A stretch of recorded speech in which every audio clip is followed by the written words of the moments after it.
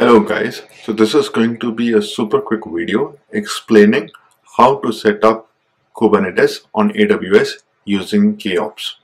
Before we do the setup, it is important to know in what scenarios do we need to use KOps versus eksctl.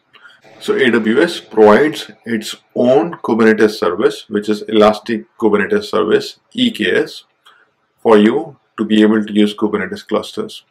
So the benefit of that is that the master nodes are managed by AWS, so you don't have to worry about upgrading them, making sure they are always running and all. That is all handled by AWS. So there can also be many reasons for which you might want to set up master nodes and control them by yourself. Some of the reasons could be like the pricing, or you would want some specific configurations that don't come with, come with EKS. So that's what KOps helps us with. Like eksctl is a command utility for EKS service. With few commands, you can have a EKS cluster up and running.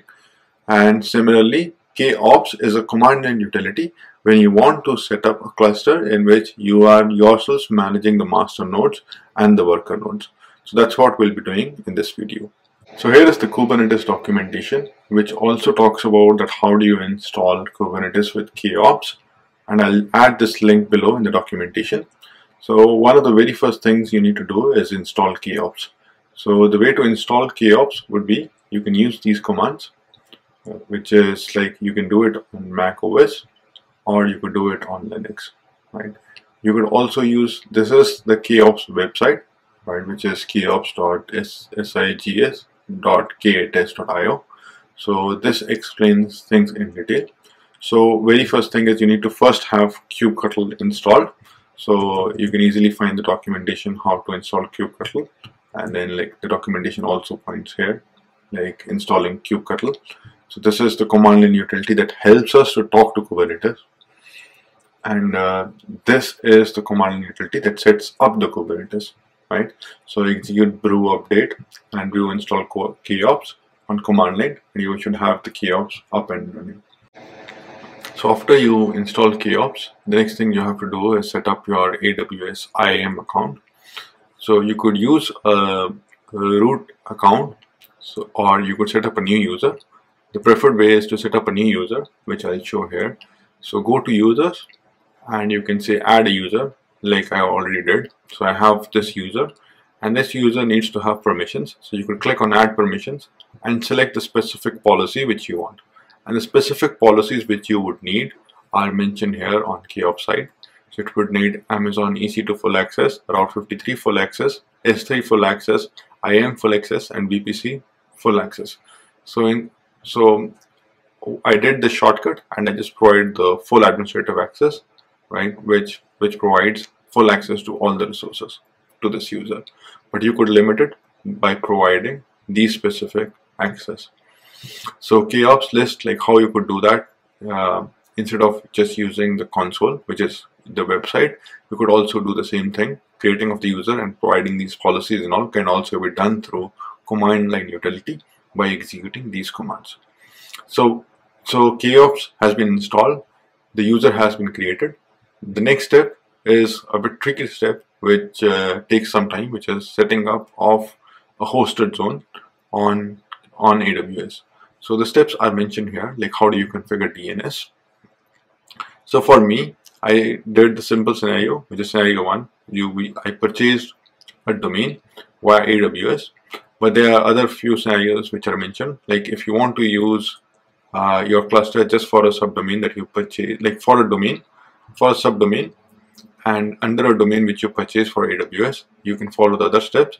And if you have domain with some other registrar it also explains how you can still do it right? But I'll just follow the first step where I purchase the domain from Route 53 itself. So here I'm at Route 53 and you could see uh, let me go to dashboard.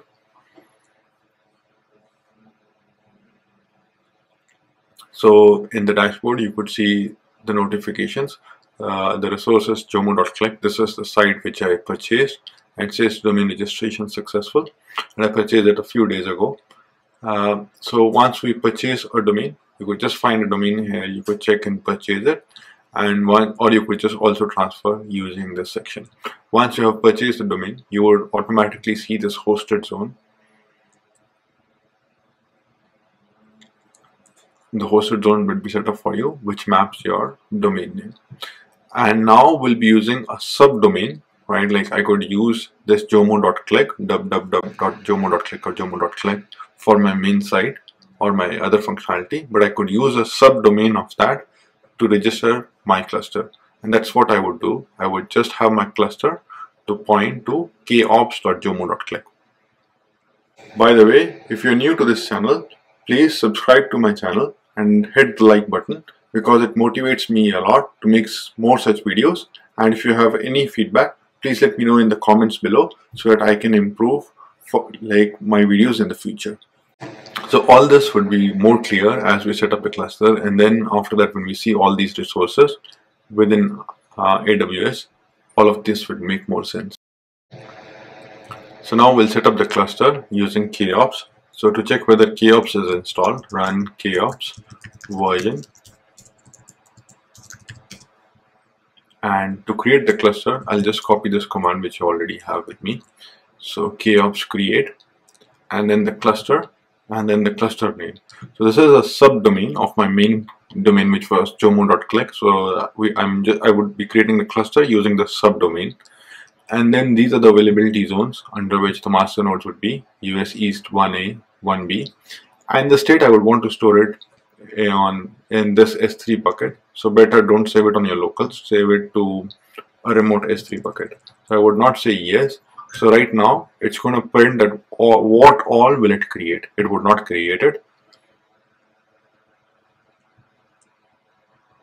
so it says cannot retrieve uh, it the bucket. So we need to first create the bucket also. So I'll just go ahead and I'll create the bucket.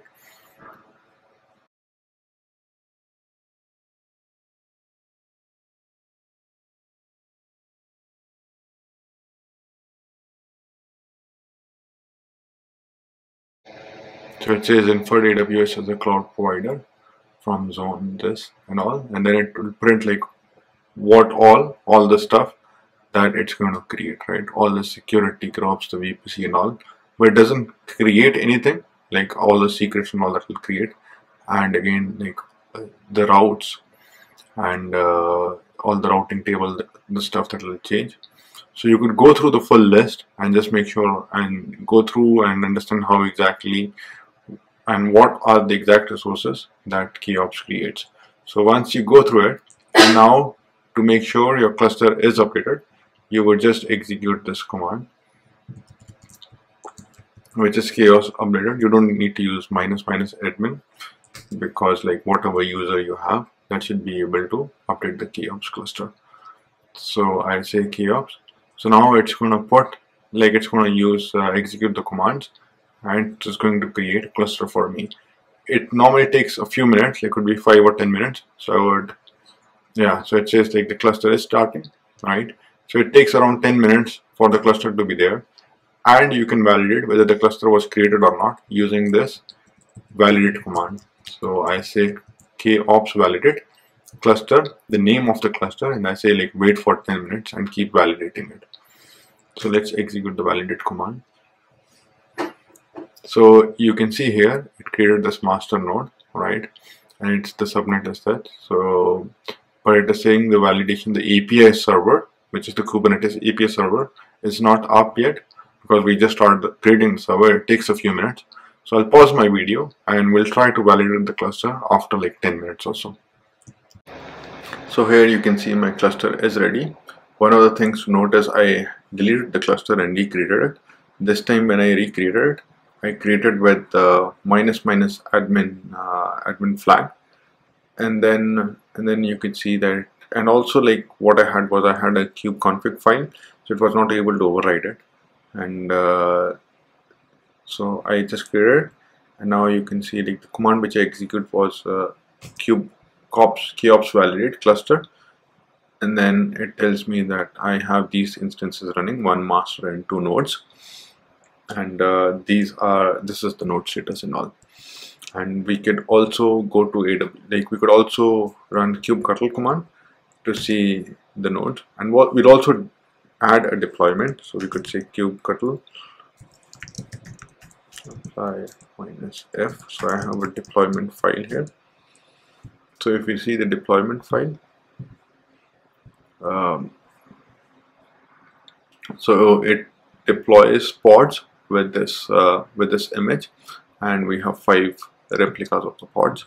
So if we say kubectl get all. Now you could see like so these are like three are running and two are in creating state right? And then you could see the default service and all. So this is how easy it is to create cluster using KOps. So let's quickly jump to e, uh, EC2 um, or sorry AWS console to see so I'm just reloading now. When we go to EC2 dashboard you could see the instances that are created. So if you were using EKS service you would not see the master right because you don't control it. But since we are using KOps you could see the master and you could see the other nodes also right and then like if you need to delete the master or delete the nodes and all you could also or if you want to log in like so you you have to manage these nodes by yourself. And you could also check subnets and all everything and all the resources that are created. And in the route 53 when we check now you will see uh, that we should have uh, I think entries for KOps also. Let's see